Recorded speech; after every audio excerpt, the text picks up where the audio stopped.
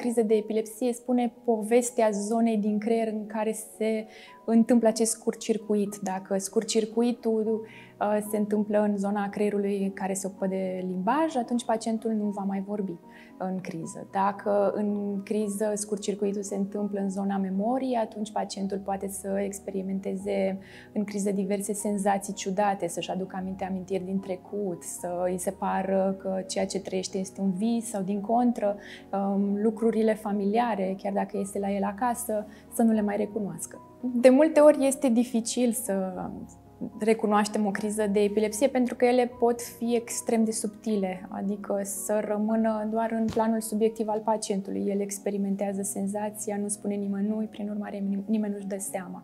Însă, în mod uzual, crizele de epilepsie sunt scurte, se întâmplă tot timpul la fel în cazul unui pacient, adică senzațiile sunt similare și ceea ce văd uh, oamenii din jurul lui este uh, la fel, de la o criză la cealaltă și sunt neprovocate, adică um, vin din neant, pe neașteptate. E foarte important să, ca cei din jur să filmeze o criză de epilepsie pentru că um, acesta, aceasta este informația primară și cea mai importantă cu care putem veni la medic. Uh, atunci când pacienții se prezintă de obicei la medic, vin cu povestea relatată de cei din jur, iar de cele mai multe ori cei din jur filtrează ceea ce se întâmplă prin emoțiile lor și transmit mai departe foarte puțin din ceea ce se întâmplă cu adevărat. E ca și cum am rugat o prietenă, de exemplu, să meargă să ne cumpere o bluză și îi spunem, cumpărăm te rog o bluză verde. Verdele are foarte multe nuanțe, iar asta se vede doar într-o poză și doar într-un filmuleț, care e primul lucru și cel mai important atunci când punem diagnosticul de epilepsie. În lumea aceasta, 20% din pacienții cu epilepsie sunt diagnosticați eronat. Ei nu au această boală. Iar acest lucru se întâmplă pentru că uh, Crizele de epilepsie pot fi ușor confundate cu sincopele. Aceste sincope sunt practic o criză la inimă și nu la creier, cum e o criză de epilepsie, sau cu crizele uh, psihogene, psihiatrice, care pot, le putem spune de fapt niște atacuri de panică mult mai intense. Um, iar pentru că diagnosticul de multe ori este fin, atunci ar trebui pus de către un specialist, un medic neurolog specialist, de preferat cineva care are experiență în a în a pune acest diagnostic. La final, diagnosticul implică un tratament cronic, adică un medicament pe care pacientul va lua zi de zi, aproape o viață întreagă și implică și anumite um, repercursiuni sociale, dacă, dacă vreți. Tratamentul în epilepsie um, are două direcții sau poate avea două direcții. În principal, 70% din pacienții cu epilepsie reușesc să controleze boala, adică să țină în frâu crizele, să nu mai apară crize, luând o pastilă, o pastilă corect administrată în funcție de tipul epilepsiei lor. 30% dintre pacienți nu sunt la fel de norocoși și fac crize cu toate că și-au corect medicamentul. În cazul acesta, tratamentul uh, este non-medicamentos, adică putem oferi alte, um, alte proceduri. Uh, dacă epilepsia este cauzată de o modificare a creierului, putem acționa asupra acelei zone din creier, de exemplu să o îndepărtăm și să vindecăm epilepsia.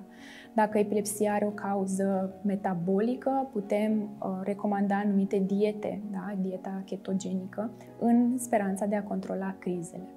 De cele mai multe ori, uh, pacienții care sunt complet controlați, care nu mai au crize sau care au crize foarte scurte și nu le impactează capacitatea de a răspunde, de a-și desfășura activitatea, pot să ducă o viață perfect normală. Femeile cu epilepsie pot să aibă copii, tații cu epilepsie pot să iasă în parc cu copii, să se dea cu bicicleta, să meargă la mare, să nuate, să facă sport.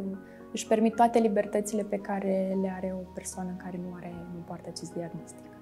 Aderența pacientului la tratament um, poate fi ameliorată din punctul de vedere în două, în două moduri. Odată, pacientul să-și înțeleagă uh, boala și să fie de acord să urmeze acest tratament, să înțeleagă că tratamentul nu îl desparte de viața normală, ci îl ajută să ducă o viață cât mai normală pentru că el pune stop crizelor. Iar când vorbim de tratament, uh, el trebuie să fie corect adaptat formei de epilepsie să, pentru a menține sub control crizele și uh, trebuie să nu producă reacții adverse. Degeaba stopează crizele dacă dăunează pe altă parte. Pacientul amețește, îl doare capul, are tulburare de vedere din cauza medicamentului. Deci, prin urmare, eficiență a tratamentului și tolerabilitate mare. În general, pacienții cu epilepsie uh, sunt priviți ca oameni care au retard mental, care fac crize și cad, care uh, nu pot fi stăpâniți, au accese de furie și care uh, pot să dăuneze, să ne facă rău. Acest lucru nu este adevărat. Marea majoritate a oamenilor cu epilepsie sunt oameni ca noi, au aceleași capacități, uh, unii dintre ei poate mai zestrați din punct de vedere intelectual um, și care pot să își desfășoare activitatea la fel de bine ca noi um, în mare parte din locurile de muncă unde ar putea să se, să se angajeze. Dacă pacientul nu face criză, nu se vede. El este... Uh, nu știm dacă are poartă acest diagnostic. Dacă ne întâlnim cu un pacient în timpul unei crize, în primul lucru îl ajutăm. Uh, îl ajutăm să nu se lovească dacă el cade, dacă îl vedem că e dezorientat, îl ducem într-un loc sigur. Um, anunțăm, așteptăm să se termine criza, îl întrebăm dacă e bine, încercăm să anunțăm familia dacă este necesar, să ajungă în uh, în, uh, acasă în, uh, într-un mod cât, uh, cât mai sigur și dacă cumva suntem în posesia unor informații unde se poate trata mai bine, să îl ajutăm cu aceste informații.